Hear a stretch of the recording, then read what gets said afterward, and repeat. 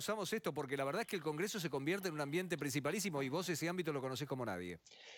Miren, el, número fino se va a conocer, yo calculo que en las próximas, las próximas horas, eh, cuando se conozca, sobre todo a partir del miércoles, el escrutinio definitivo. Lo que sí hay que decir es que Alberto Fernández va a tener una Cámara de Diputados en la cual eh, va a tener que negociar, porque Cambiemos va a mantener este lugar que se conoce como la primera minoría, y en el Senado sí va a tener una comodidad que algunos creen que va a estar oscilando el número de los 33 o 34 senadores. Insisto, todo esto tiene que ver con lo que conozcamos en un par de días cuando esté el escrutinio definitivo. Hay que pensar esto, Pepe, eh, Edgardo, Sandra, Maru.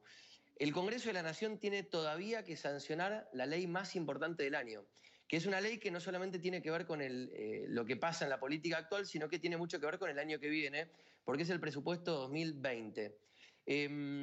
Esta ley es una ley que se aprueba con el consenso, no se aprueba de otra manera. Es decir, hoy en día no, tenés una escribanía en el Congreso. Con lo cual, si Alberto Fernández y Macri no se ponen de acuerdo con los números que ahora les voy a contar que le, van a quedar al Congreso de la Nación, difícilmente Alberto Fernández pueda tener presupuesto. Insisto con esto porque es un tema fundamental, que es la ley que habilita los gastos y la recaudación para el país durante el año que viene. ¿Cómo va a estar conformado el Congreso de la Nación a partir del 2020? Alberto Fernández va a tener que enfrentar un bloque de Cambiemos que algunos creen puede llegar con sistema DONT y con alianzas incluidas a los 119 diputados. Tengan en cuenta que la mitad de la Cámara son 127, con lo cual Cambiemos va a estar cerca del quórum. Con 2, 3, 4, 5, 10 aliados, Cambiemos tendría quórum en diputados. Alberto ahí la va a tener complicada. Dicho esto, una vez que las leyes pasan con media sanción a la Cámara de Senadores, Alberto Fernández va a tener un muy buen bloque en la Cámara de Senadores. Dicho esto, ¿cómo lo relacionamos? La Cámara de Senadores es una Cámara súper relacionada con los gobernadores, con los que Alberto Fernández tiene muy, pero muy buena relación, los gobernadores peronistas. Ahora bien, ¿qué Senado le espera a Alberto Fernández? Un Senado muy cómodo. Es decir, va a quedar con una Cámara compleja y una Cámara eh, fácil, digamos, por decirlo de alguna manera, con lo cual no va a ser simple para la. Ahí tienen la placa, miren. Si ustedes se fijan, ¿no? ahí tenemos un frente de todos que puede alcanzar con alianzas incluidas 36 legisladores en la Cámara Alta, 27 para Juntos para el Cambio y los otros que son nueve son los del peronismo federal. ¿Se entiende cómo viene la onda en la Cámara de Senadores? Sí, sí, absolutamente. Ahora, de esos 36, me da la impresión que por lo menos 15 son de Cristina, ¿no? Cristinistas. Sí, pero hay algo, Pepe, que eh, hay algo, Edgardo, perdóname, que hay que tener en cuenta. Y vos lo sabés porque has recorrido tanto como yo la Cámara de Senadores. Es una Cámara federal. Con lo cual, es cierto que responden a Cristina, pero también responden a los gobernadores de turno. Eh, me imagino un, un senador por la provincia de San Juan que claramente va a responder a Cristina a nivel nacional, pero al mismo tiempo va a tener que responderle a su gobernador por las cuestiones que tienen que ver con el marco tributario. Es decir, lo que vota el Senado termina rebotando en la billetera de la, de la, provincia a la cual representa ese senador.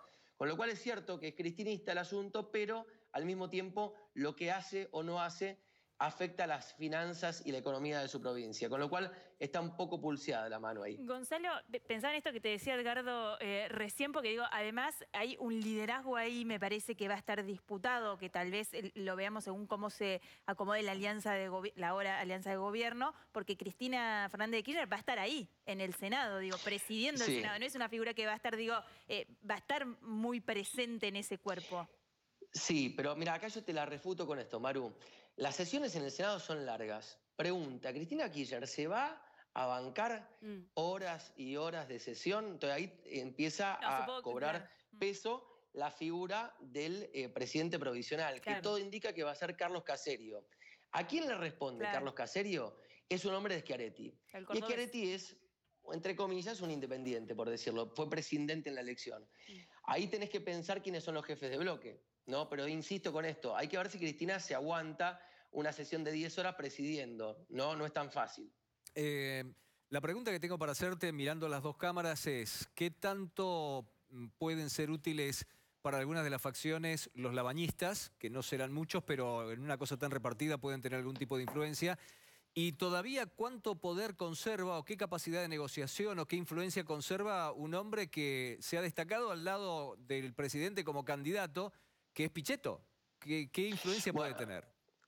Bueno, Pichetto deja de ser senador el 10 de diciembre, con lo cual lo que le queda a Pichetto es el marco de negociar o intentar negociar el presupuesto antes de irse. Después del 10 de diciembre, Pichetto desaparece de la Cámara de Senadores y pasa a ser un actor de la política como cualquiera que anda rondando por ahí. Ahora, em, Acá, Pepe, me parece que es importante tener en cuenta el valor de los acuerdos políticos, porque se va Pichetto, se va Emilio Monzó, se van los articuladores políticos con los cuales el gobierno cuenta hoy en día para poder negociar un proyecto de ley.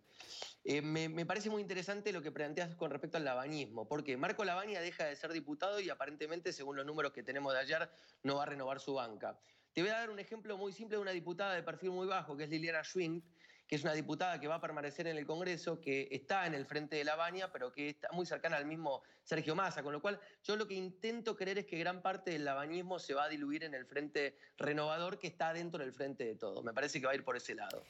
La sensación que a mí me deja esta elección, y la, confirmo con toda esta explicación que nos estás dando, dando, Gonza, es la polarización absoluta que quedó plasmada de lleno en esta última elección. Hay una división bien clara y hay dos Argentinas, ¿no? O sea, claramente eh, no solamente quedó reflejada en los números, sino también quedó reflejada en las cámaras. Una para uno, otra para otro, así.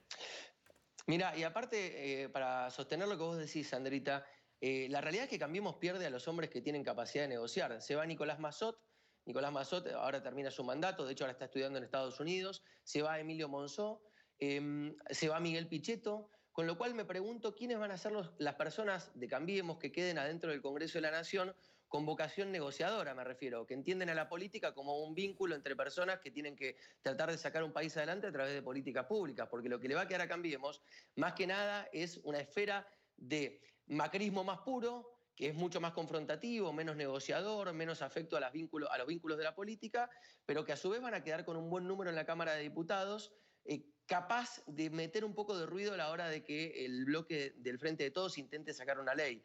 Va a ser una Cámara de Diputados, yo creo que si no se modifican los esquemas y las maneras de hacer política, bastante áspera.